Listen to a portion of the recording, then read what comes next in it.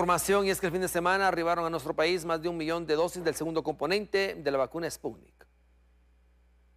El Ministerio de Salud Pública y Asistencia Social informó el ingreso de un total de 3.100.000 vacunas Sputnik V, de las cuales este domingo ingresaron 1.058.400 dosis del segundo componente. El arribo de los biológicos se espera que sea en diferentes vuelos. Este cargamento representa el fortalecimiento y avance en el Plan Nacional de Vacunación contra el COVID-19, con el objetivo de inmunizar a los guatemaltecos.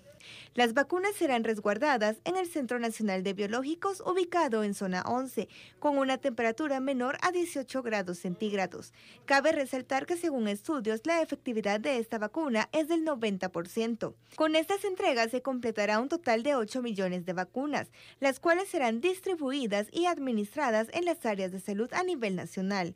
Según información por parte del Ministerio de Salud y Asistencia Social, se ha podido inmunizar 11 millones 138 8.321 personas a nivel nacional.